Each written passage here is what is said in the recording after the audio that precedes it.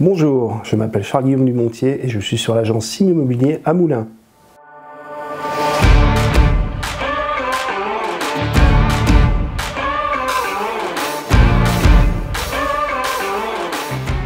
Alors j'ai un parcours plutôt atypique pour le secteur immobilier. En effet, j'ai passé un bac SPMAT en 2000 sur Moulins.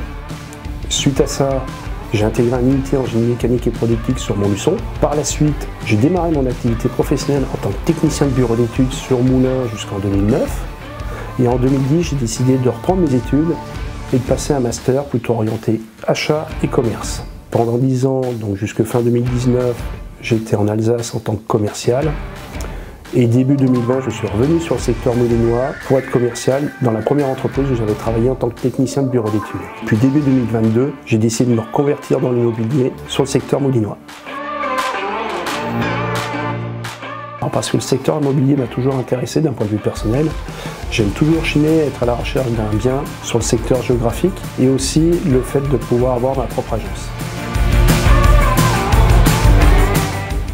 Oui, je vais citer évidemment la citation de Socrate qui est Connais-toi toi-même, notamment dans mon cas parce que je vais me connaître de plus en plus par rapport à mes différentes expériences professionnelles. Que vous soyez acquéreur, vendeur, locataire ou bailleur, mon expertise technique et mes services professionnels permettront de vous accompagner au mieux sur votre projet.